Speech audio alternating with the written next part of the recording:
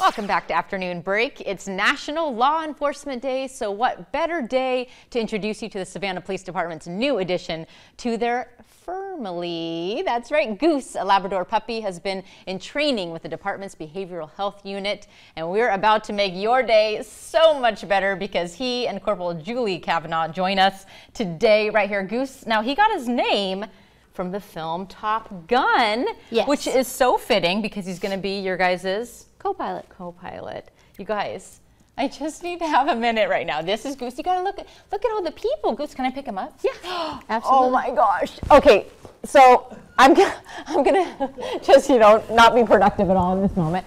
Now he explain to us. He's a therapy dog. He will be a therapy dog. He will dog. be a therapy. So he's in yes. training right now. Oh, you want to yes. get down? Okay, okay.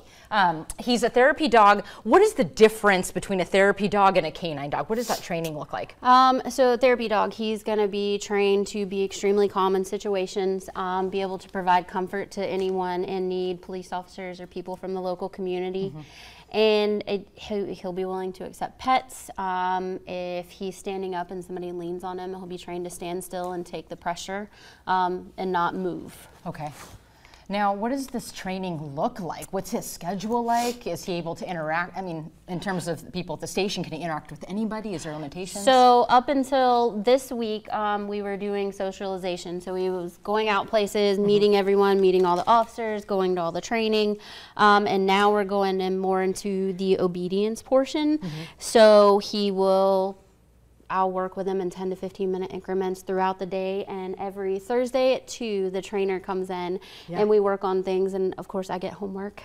Because um, yeah. you were, let's remind everybody, you're his handler. Yes. So explain kind of what that is for those who don't know. Um, so Goose essentially goes home with me every day, gets up in the morning, comes to work with me. Um, we work on training throughout the day. We'll have short training sessions.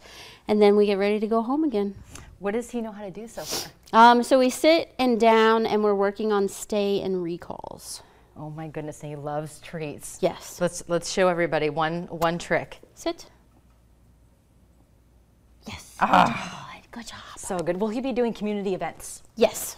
He will. Okay, so what does that look like again? Because with therapy dogs, I mean, there is a little bit of strict energy, right? I mean, they can't interact with just everybody, or, or right. So when we free? go when we go in to an environment, mm-hmm. um, I'll wait till it gets extremely calm once he gets certified. Right. Um, and once everything is calmed down and he's he's had a, a time to kind of see the room, mm-hmm. um, then he'll be allowed to interact with people. Um, last Friday, we went to KB Williams Elementary School and we mm-hmm. visited four first grade classrooms. Um, that was his first time interacting yeah. with, with groups of kids that size. He did great. Um, no problems yet.